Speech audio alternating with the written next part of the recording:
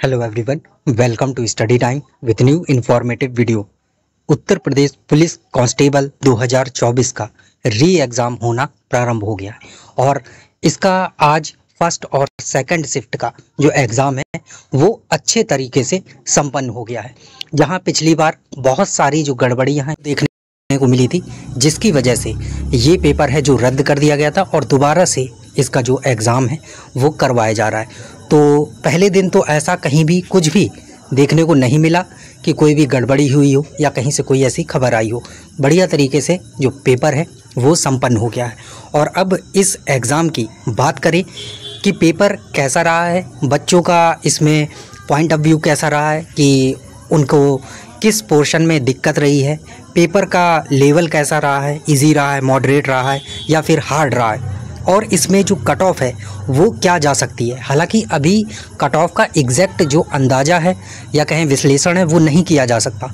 क्योंकि अभी एग्ज़ाम जो है केवल एक ही दिन हुआ है और अभी आपका और भी आगे तीन चार दिन जो एग्ज़ाम है, वो चलना है। तो कट ऑफ़ का बिल्कुल सटीक तरीके से ये नहीं कह सकते कि इतनी ही कट ऑफ़ जाएगी। लेकिन एग्ज़ाम के पैटर्न को देखते हुए जो पेपर में क्वेश्चन पूछे गए हैं, उनके लेवल को देखते हुए। ये सारी चीज़ें देखते हुए जो अभी तक अंदाज़ा लगाया जा रहा है, वो है कि इसके आसपास जो है वो चीज़ें रह सकती हैं। तो अगर आपका आगे एग्ज़ाम है, आगे आने वाली शिफ्टों में तो आप जो आज का पेपर हुआ है, उन दोनों शिफ्ट के पेपर को देखिए। उनका एनालिसिस करिए। उस आधार पे अपना जो दो दिन है, तीन दिन है, चार दिन है तो उसका जो रिवीजन है, उस अकॉर्डिंग करिए। जो चीज़ें छूट गई हैं उनमें से, उनको देखिए।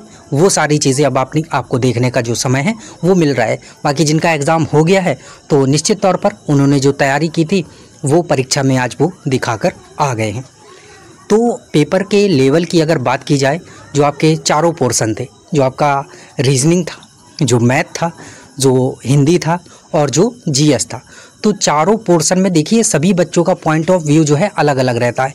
लेकिन अगर मैं एक मोटा मोटी तौर पर बात करूँ कि जो पढ़ने वाला विद्यार्थी है, जिसने मन लगाकर पढ़ाई की है, जिसने जो पिछले चार पाँच महीने निकल गए हैं, अगर इसमें अच्छे से फोकस करके अपना जो तैयारी है वो किया है, उस पर ध्यान दिया है पढ़ाई में तो उसके लिए ये पेपर जो है इजी टू मॉडरेट ही रहा है।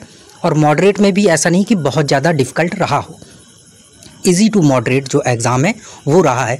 अब जिसने बिल्कुल पढ़ा ही नहीं है, फिर वो बोलेगा कि हार्ड आया है, ये चीज़ हार्ड आई है। तो निश्चित तौर पर उनके लिए ये जो एग्ज़ाम है, वो हार्ड ही रहा है। क्योंकि जब आपने कुछ पढ़ा ही नहीं है तो फिर हार्ड तो बोलेंगे ही। और जिन्होंने पिछले तीन चार महीनों में अच्छे से पढ़ाई की है, जो दोबारा कह सकते हैं मौका मिला था, उसका सदुपयोग किया है। तो अब जो है, वो आपको आपके पेपर में जो है देखने को मिलेगा। और इसमें जो अच्छा खासा जीएस पूछा गया है तो जीएस में जो विद्यार्थी हैं, वो थोड़े से अटके हैं, जिन्होंने बिल्कुल ही तैयारी नहीं की है, ढंग से पढ़ाई नहीं है। वो बोल रहे हैं कि कठिन आया तो निश्चित तौर पर उन्हें 10 से 12 क्वेश्चन करने में भी जीएस में प्रॉब्लम आ रही है। लेकिन जिन्होंने अच्छे से पढ़ाई की है ठीक ठाक तौर पे भी पढ़ाई की है तो वो आराम से 25 क्वेश्चन तक जो है 20 से 25 क्वेश्चन कर ले रहे हैं विद्यार्थी। रीजनिंग भी सेम थोड़ा सा कह सकते हैं, कुछ क्वेश्चन ऐसे थे जो लेंदी थे, जिनको सॉल्व करने में टाइम लग रहा था। तो अब एग्ज़ाम का मतलब ही क्या होता है? आसानी से तो कोई भी चीज़ नहीं होती है। बाकी जो आपकी मैथ थी, वो भी एक कह सकते हैं कि नॉर्मल ही थी। ऐसा कोई भी बहुत हुआ नहीं था कि, अरे, ये क्या आ गया? ये क्या होगा? आखिर यूपी पुलिस के एग्ज़ाम में ऐसा कैसे पूछ सकते हैं? ऐसी होने वाली चीज़ें जो है, बिल्कुल भी देखने को नहीं मिली है। और जो पिछला एग्ज़ाम हुआ था आपका, जो अभी जो लीक हो गया था उस एग्ज़ाम से इस एग्ज़ाम का जो लेवल है, वो कह सकते हैं थोड़ा सा ऊपर है, क्योंकि अब पिछला जो एग्ज़ाम था, उससे तो उन्हें थोड़ा सा इम्प्रूव करके बनाना ही था, और ये हमेशा होता ही है, देखने को मिलता ही है, क्योंकि लीक वाला पेपर था पहले, और इस बार जो है फिर से बनाया है तो थोड़ा बहुत इम्प्रूवमेंट आपको देखने को मिलता ही है। और ऐसा भी नहीं है कि पेपर पुराना था, क्योंकि इसमें करंट अफेयर्स के क्वेश्चन नए नए पूछे गए थे, अभी जून के क्वेश्चन जो है पूछे गए थे। तो paper overall easy to moderate रहा है। चारों पोर्शन में बढ़िया क्वेश्चन पूछे गए हैं। और अगर आपके, आप मेल स्टूडेंट हैं और आपके 120 के समथिंग भी आप करके आए हैं क्वेश्चन 120 125 तो ये एक बहुत अच्छा जो अटैम्प्ट है, वो आप करके आए हैं। अभी इस 120 और 25 में आपसे ये नहीं कहा जा रहा है कि पूरे सही है।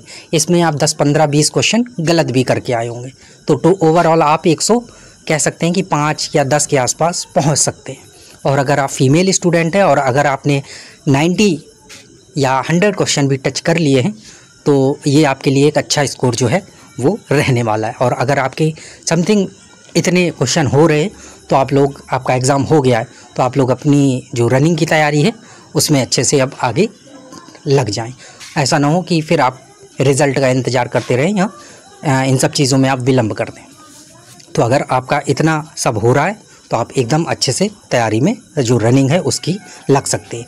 और फीमेल का तो वैसे भी कट ऑफ़ कम ही जाता है। बाकी आपको पहले ही बताया कि कट ऑफ़ का अभी पूरी तरीके से जो 100 परसेंट सटीक विश्लेषण है, वो नहीं किया जा सकता है। क्योंकि बाकी की शिफ्टों का भी अभी देखना होगा। हालाँकि बाकी की शिफ्टों में 19 और 20 का ही अंतर रहेगा। बाकी नॉर्मलाइज होके दो तीन नंबर ऊपर नीचे ही होगा। इससे ज़्यादा कोई फ़र्क पड़ेगा नहीं। तो सेम ही रहता है थोड़ा बहुत ऊपर नीचे कर दिया जाता है। तो बाकी ये था यहाँ पर एनालिसिस बाकी आगे की शिफ्टों के जो एग्ज़ाम होते हैं इसके बाद आपको जो फाइनल विश्लेषण है कि कट ऑफ़ क्या जा सकती है। सा, आ, सारी शिफ्टों को मिला के नॉर्मलाइजेशन में क्या फ़र्क पड़ सकता है किस शिफ्ट से वो सारी चीज़ें बाद के वीडियो में हम देखेंगे जब ये एग्ज़ाम आपके सारी शिफ्टों के अब कंप्लीट हो जाएँगे। बाकी आप लोग अच्छे से लगे रहिए तैयारी में और कोशिश करिए कि ज़्यादा से ज़्यादा जो सही क्वेश्चन है, उनको अटैम्प्ट करने की जो कोशिश है, वो करें। बाकी तुक्का भी ऐसा लगाएँ कि जो आपको लग रहा है, ऐसा नहीं कि बस लगा के ही आ जाना है, ठीक है? चलिए बेस्ट ऑफ़ लक जिनका आगे एग्ज़ाम है। मिलते हैं न्यू इन्फॉर्मेटिव वीडियो के साथ। Thank you